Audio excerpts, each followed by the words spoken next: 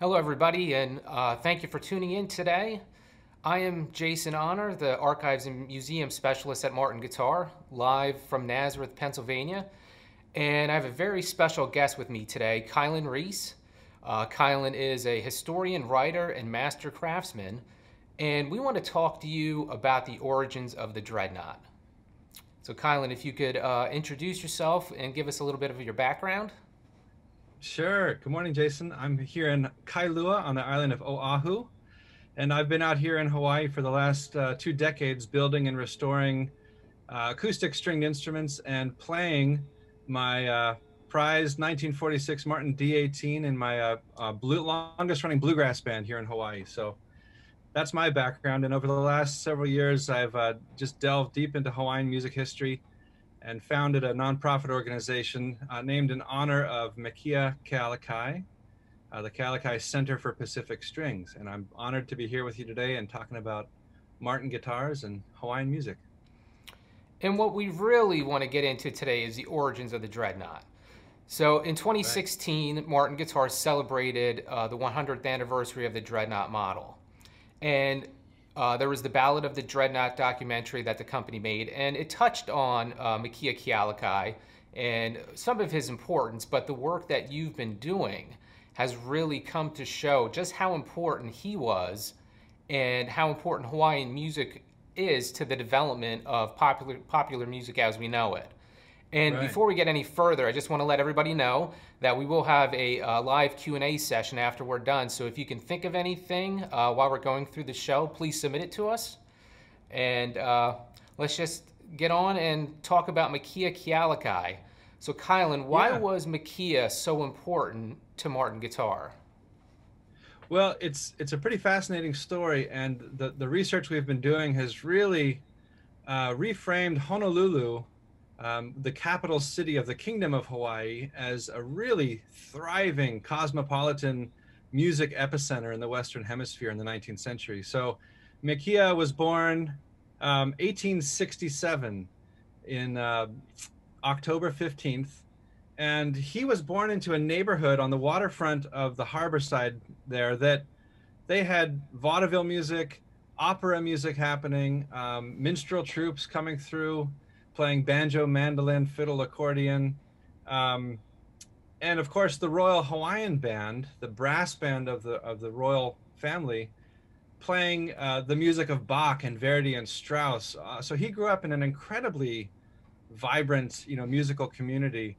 Um, interestingly, he was born the same year as Scott Joplin and uh, Frank Lloyd Wright, the famous architect. And and he, you know, over the course of his life, he would really have an impact um, similar to both of those men, but his story has really been under celebrated. I, I feel, um, and and Mekia was singular in also that he he was mentored by the the last king and queen of Hawaii, King Kalakaua and Queen Liliuokalani.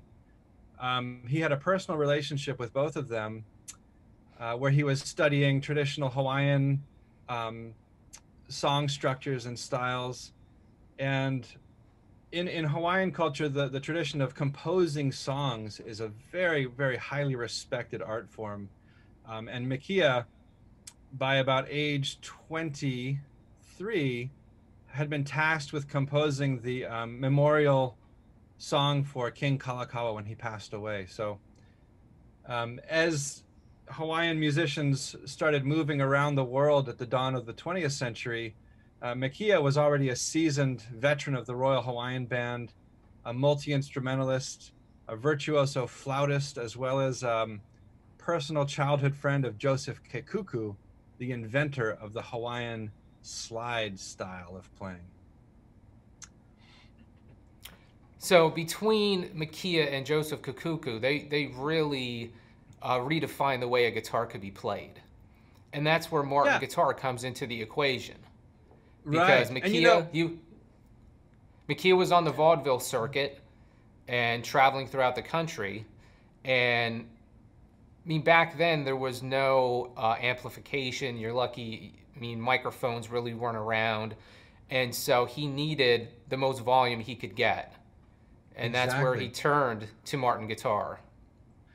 Yeah, and you know what's interesting, Jason? By the time the um, the first extra large jumbo guitar was made by the Martin Company um, and called the Kealakai model in honor of Mekia, um, had been playing Martin guitars for 30 years. Um, in the Kingdom of Hawaii, Mekia's childhood home was around the corner from the the uh, Martin dealership. if you can imagine, in 18, Berg, uh, yeah, 1896, music. the Bergstrom Music Company um, would have been, you know, regular stomping grounds for uh, young Mekia. And all of Mekia's mentors, um, the kings and queens and princes of Hawaii, all played Martin guitars. Um, so when Mekia was on the vaudeville circuit in the 19 teens, going from Chicago to Indianapolis, Buffalo, down into New York City, uh, playing concert halls where he was crossing paths with people like Sergei Rachmaninoff, you know, um, playing to thousands of people without the aid of amplification. Um, I think, as as Chris Martin says, the dreadnought extra large Kealakai model ensured that the person at the back of the concert hall got their money's worth. and, if, and if we go back to company records, we can see the sale of that first Kealakai guitar on uh, March 16th, I mean, March 25th of 1916. Right. And I mean, that's one of the, the great things about CF Martin and Company is uh, the records that we still have intact. And we can go back and see significant instruments and when they were sold and who they were sent to. And we could see that this guitar was sold to Mekia in Chicago right. on March 25th, 1916. It's, you know, I've, I've been really lucky to, um, to have access to your guys' archives, which I think a lot of people maybe don't realize the Martin Guitar Company archives span three centuries at this point, um, from the earliest origins in Prussia uh, all the way through to the current day. And what that what that provides for researchers and historians and students of, of American music history is basically a map to show not only um, how the designs were evolving and the and the stringed instruments that the Martin Company was collaborating with people to design were changing, but also how the the musical styles were changing. Um, and so, you know, for in regards to Hawaiian music history, the uh, the Martin archives have been really eye-opening into the amount of collaboration between musicians um, from the Kingdom of Hawaii, and then the territory of Hawaii, and then the state of Hawaii, all the way, th- you know, across the continental United States to uh, Nazareth, Pennsylvania, and the family of the Martin company. Now, can you explain the connection between New York City and Mekia and then the Ditson Company?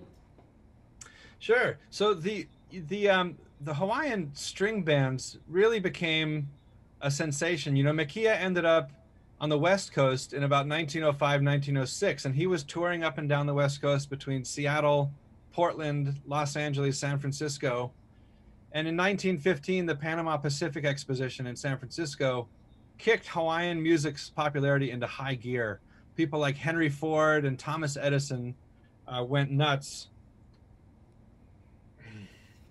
for uh, Hawaiian music. And let me see. And so by the time uh, Mekia had ended up on the vaudeville circuit between Chicago and New York um, in 1901, 1902, he was establishing uh, a, a, a, route. Uh, can you guys hear me now? Is that better audio? Yeah, you're coming through, Kilin. Okay. Um, you know, at the Buffalo World's Fair in 1901, Mekia and his orchestra kind of stole the show. And they started working the vaudeville circuit down to Buffalo, New York, and New York City really became a hub for these Hawaiian string bands that were um, performing really nonstop.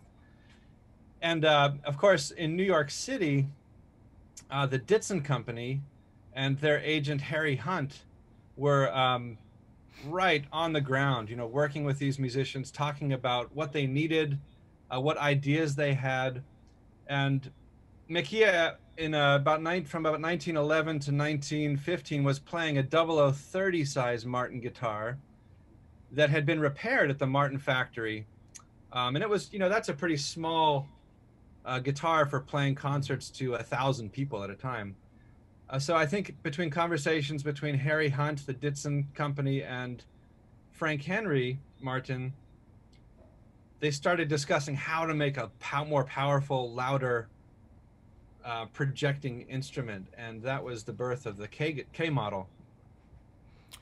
Now, you've done some work uh, recently with the Bishop Museum in Hawaii. The exhibit is uh, set to close soon, uh, but can you explain to us how that came into fruition and uh, all the effort that you put into it? Yes, this is um, this is a pretty historic exhibition here in Hawaii. Um, I pitched this idea of the Bishop Museum. The Bishop is kind of like the it's like the Smithsonian of Hawaii, if you can imagine, the oldest cultural and historical uh, museum founded by members of the royal family in the 19th century. And in my research with uh, you guys at the Martin Archives and this community here, this different story of of the influence of Hawaiian musicians really became clear to me. And I proposed an exhibition about four years ago, and and they immediately saw the value of it, and we began putting it together. And we've been able to include um, instruments owned by the Hawaiian monarchs, um, the members of the Sons of Hawaii, the 1970s Hawaiian Renaissance um, musicians who really returned attention to this earlier style of string band music that he that had evolved in the Hawaiian Kingdom, and of course we're also including uh, Johnny Cash's D21 Martin guitar, uh, the Kealakai reproduction that the Martin Company made last year, um, Ledward Ka'apana's, if fans of slack key guitar surely know Ledward Ka'apana, the guitar he grew up playing as a child in uh, the big island of Hawaii is a Martin guitar. Um, and so this exhibition is really, it's, it's returned focus to not only the instruments that grew out of the Hawaiian music community, but also the string ensemble style that it, you know, by the turn of the last century was really predicting what was going to happen in uh, what we now think of as country or, or jazz or bluegrass, um, American music, traditional styles. And it's up for one more week. It closes on the 31st, if anybody's in Honolulu. now, uh, we see a photo of Vince Gill with one of the custom shop Model K guitars. Right. So the custom shop built two of those instruments. Uh, one is in the Bishop Museum in Hawaii, and the other one you are uh, kind of it's on a tour of the United States right now, correct? That's right. I'm, I'm really thrilled. That guitar, um, I stopped in at George Gruhn's shop um, last year during NAMM when we were all uh, in in Nashville with the Martin Company, and he got really interested in the story and the history of this this Kealakai model, and I've I've been working on a documentary film and so under COVID, of course, you know, it's very difficult to fly to the continental United States and, and do film shoots. So I decided to send this guitar on a journey re- retracing Mekia's steps, um, you know, over 100 years ago. And along the way, the guitar is meeting up with different musicians. It's been in Nashville with, um, as, as the photo shows, uh, Vince Gill, Steve Earle stopped by. Um, Jerry Douglas is going to stop by and play this Kealakai model as was originally intended as a lap steel guitar. Um, and then after that, the guitar is going to move on to New York City and then across the continental United States, ending up in California and meeting up with people like Peter Rowan and Dan Crary and all kinds of all kinds of folks. And it's really interesting because this guitar kind of returns our attention to a time in American music before everything was so genre specific. You know, mm-hmm. before there was this kind of music and that kind of music. It was just pretty much you know good music and, and there was guitar music and um, it's interesting to return uh, our memory to that time so now let's talk a bit about martin guitar's involvement with Mekia Kealakai and that Model K guitar. Uh, we know Mekia, he wanted uh, a larger guitar because he was on the vaudeville circuit so that he could right. be heard. And and based off of that, Martin gets into building the dreadnought for the Ditson Company. Right. So he- here we have Harry Hunt from Ditson, Frank Henry Martin, who was running the uh, Martin Guitar Company at the time, and then J- John Deichman, who was the factory foreman. Right. You know, Deichman's story is really fascinating. Uh, Deichman was born in 1893. Um, and so by the time he was a young man working at the Martin Company, he was um, a violinist and also a flautist.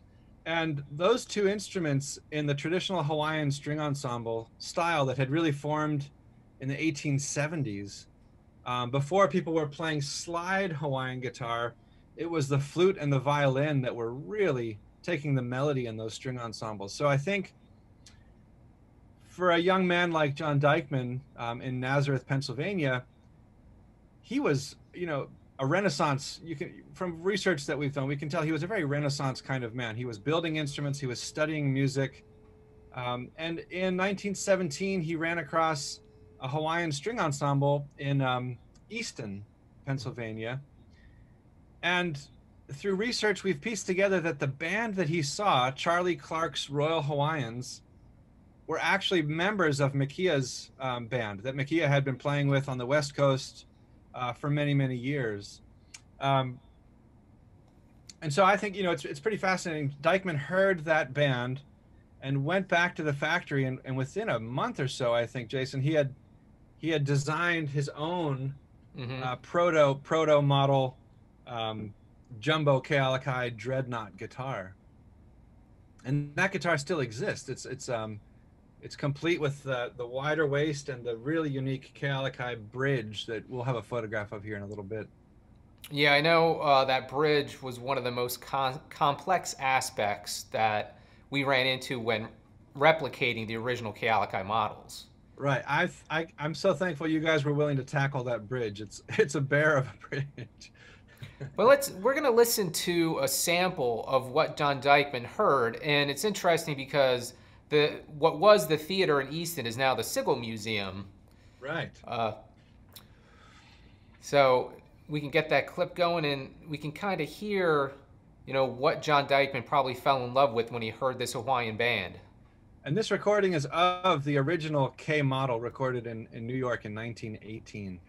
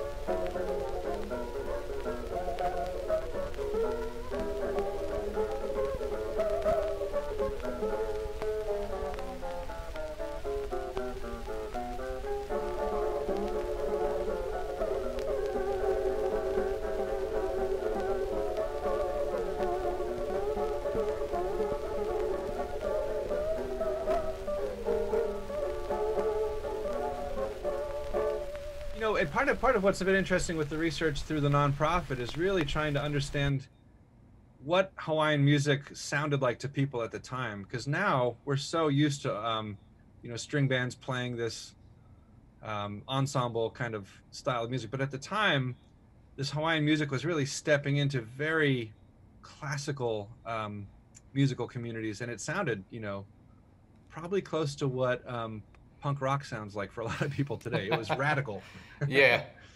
And when I listen to that, I can hear that slide playing. I can hear the influence of that slide playing on uh, players from the Mississippi Delta. Like sure. I'm, I'm a big fan of Robert Johnson and early Muddy Waters, and you can kind of hear the influence on on them coming from Hawaiian music.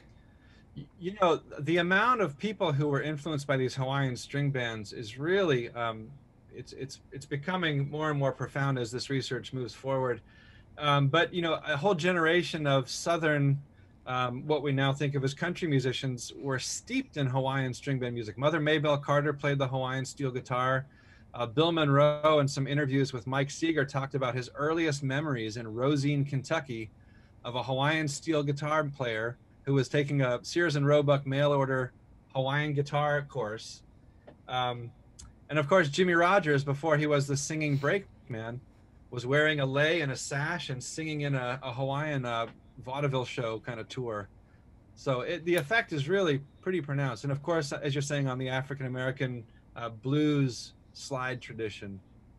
Um, yeah. Oh, the dreadnought, right. Yeah, so Martin builds uh, this special model for Ditson and really not sure what they want to call it. Uh, so Frank Henry Martin sees the HMS Dreadnought from the British Navy and it had been around for about a decade and saw that was the largest warship at the time. And since his company was building the largest guitar at the time, he decided to borrow the name of the ship for the guitar. And I mean, every time you see a D, a D28, uh, D35, D18, that D stands for Dreadnought. And it comes from those famous World War I battleships.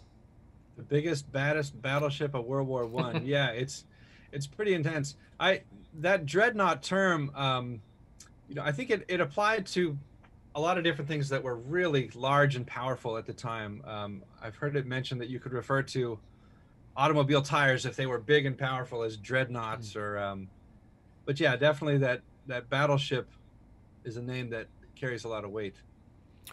So we see the first dreadnought sail to the Ditson Company on August 9th of 1916. And Martin had been building special instruments for Ditson, ukuleles and guitars, and they had this uh, different shape with a very wide waist. And so when they decided to build the Dreadnought based off of the drawings for the Kealakai model, they gave it that wide-waisted shape instead of the more narrow waist like on a triple O or a double O. Right, and, and you know Ditson already had a line of guitars uh, standard and concert guitars that were that were selling well. And I think that to keep this uh, jumbo model in line with that, they made the waist um, match. And you know the ukuleles from this period too are, are very collectible now. The the dreadnought um, ukuleles, and they do sound they do sound a little stronger by most collectors' um, opinion. So that the the most famous of the Ditson models, the dreadnoughts, was the Ditson 111. And you see right. one on the screen, you can see behind me our 1929 Ditson 111 from our museum collection. Now originally, the first few years they were fan braced. That I'm not quite sure why the company decided to fan brace uh, this, a steel string guitar, but they were discontinued for a little while. Harry Hunt asked Martin to reissue them in 1923, and then the models you see built between 1923 and 1929 are X-braced. Right. But then we see Ditson go out of business. And so Martin decides, what should we do with this extra large uh, bass guitar as it was referred to at the time? Hmm. Uh, they had another customer in Chicago, the Chicago Musical Instrument Company. Right. And at that time, there was the WLS radio station that uh, had been hosting the National Barn Dance Radio Show. And so they had some performers very interested in the Dreadnought model. So they started purchasing what was the D1 and the D2, from Martin, and then eventually Martin started selling uh, the D18 and the D28. Some of the famous artists at the time, there was Arky, the Arkansas woodchopper from Chicago. Uh, he was on WLS. And then Gene Autry. Uh, here we see on the, on the screen the first D28, which is another guitar that's also behind me. Part of our museum collection. Uh, a guitar that was once in the collection of the actor Richard Gere. Mm. Yeah, once once Gene Autry picked up that that dreadnought, uh, I think everybody who wanted to be any kind of country western singer, that was the guitar they had to have, right? And I exactly. Love, um, I love the detail of, you know, when you really made it in, in show business, you had your name inlaid inlaid in mother of pearl right down the fingerboard. Exactly. There's a great letter from Mother Maybelle Carter to the Martin Company in the archives, where she's ordering a new Hawaiian style steel guitar and she wants her name inlaid down the fingerboard. I don't know if that guitar ever got made. Uh, I don't believe so. But what really made the Dreadnought models take off was in 1934 when Martin switched to the 14 fret design. And right. that's when you see the early country music scene. You know, radio was king at the time. And there's so many photos in the archives of musicians on promotional postcards that they would send out to their fans posing with their Martin Dreadnoughts. Yeah. And then from there, you just see it kick off. I mean, Hank Williams, Johnny Cash. You can go on and on. Paul McCartney, Kurt Cobain, Tony Rice, yeah. uh, Jim Croce. There's so many artists, Joni Mitchell, you know, so many artists that have played a Martin Dreadnought throughout the history of music. It is really the quintessential guitar, whether you're playing country, bluegrass, rock. Even recently learned Steve Jones uh, was a big fan of Martin guitars. So punk musicians play Martins. They're Neil Young. I mean, you can go on and on, and we could talk for hours just about all of the musicians that have played Martins, uh, the Martin Dreadnought. But we have a yeah. couple minutes left here, so let's get to some uh, questions that have been submitted. Okay. Uh, so the question is, can you please tell us what are the main differences between the first Dreadnought model and the actual ones? Uh, so I think that's kind of referring to the initial Dreadnought that Martin built for Ditson, that those early uh, D111s and uh, the D222 mm-hmm. that were, you know, fan brace, pretty, uh, pretty light when it came to appointments, just some simple binding, and then you get on to when Martin starts building the Dreadnought under their own name with the D18 and the D28, where it gets the famous herringbone inlay and the diamond and squares uh, fingerboard inlay, and then eventually the first D45 for Gene Autry with all of the pearl. Right. Uh, next, we have what is our most popular dreadnought model? Well, even though its list price is over $3,000, the D28 is our most popular dreadnought model. I mean, we've been building it since 1931, and so many famous musicians have played it, and the reason for that is not just because it says Martin on it, it's because how great the guitar sounds and, and just the quality of the D28. Absolutely. Uh, powerful, powerful sound. Next question is, and I'll say this exactly how it shows up here. Can y'all please talk about the special bridge, the lap slide versus standard style of Kealakai? You know, that's so, an interesting. Sorry, go ahead, Jason. Well, my theory on the bridge was to combat the tension of steel strings. And I think Martin uh, kind of took that design uh, and they thought about that when they introduced the belly bridge in mm-hmm. 1930. And so yeah. with Kealakai, he had that special oversized bridge. And I just think you know, it was there to help reinforce the top from the, the, the pressure, the pull that steel strings puts on it. Yeah, you know those early those early um, pioneers of the Hawaiian steel guitar style, Joseph Kekuku and Mekia Kealakai, they were hunting up the loudest strings they could find, and often they were pulling strings out of pianos and putting them on those early guitars. That 0030 Mekia was playing was actually built for uh, nylon, you know, gut strings, mm-hmm. And so I think the bridge tore up and they, they came up with a bigger footprint. But that bridge design actually kind of harkens back to some of the instruments that were um, being played by the royal family here in Hawaii that have that sort of botanical motif incorporated into them. Um, and there's actually a, a, a, tracing of that in the Martin archives from 1916 from Mekia. Well, I want to thank everybody for watching today, and thank you, Kilin, Kilin for uh, giving us all of that great knowledge that you've uncovered recently. Thanks, Jason. It's been an honor to be here.